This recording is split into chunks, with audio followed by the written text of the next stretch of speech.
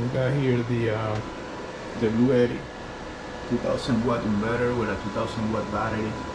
And here is a 2500 watt hour battery and inverter and charge controller to back up this when there's no sun.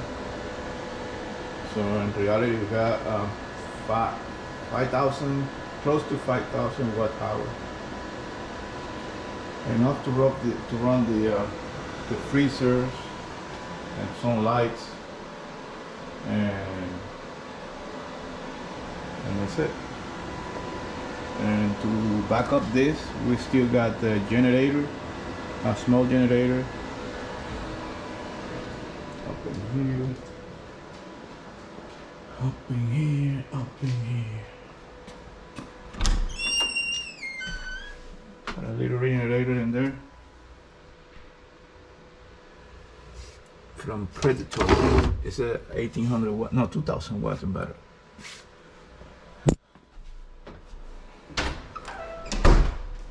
And I still can increase the uh, the input on the Bluetti.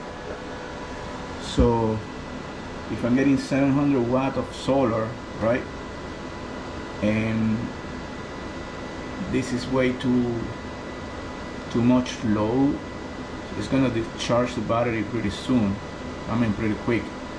So the Bluetti comes with a, a wall charger that pumps 450 watts so I can still pump 450 watts on this side so the maximum I can I can pump to the Bluetti to um, to compensate for the uh, for this for this loss which is 1700 watts because I'm running the heater it's uh, 1200 watts so the input is 1200 watts All right, guys. What do you want?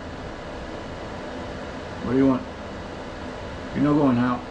Uh-uh. Huskies.